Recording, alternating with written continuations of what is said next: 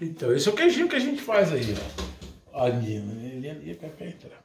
Esse queijo, esse queijo é só é, coalho, coalho, tá? E sal e leite. Tá?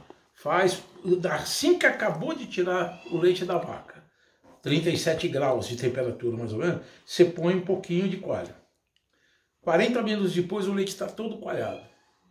Aí você corta a massa.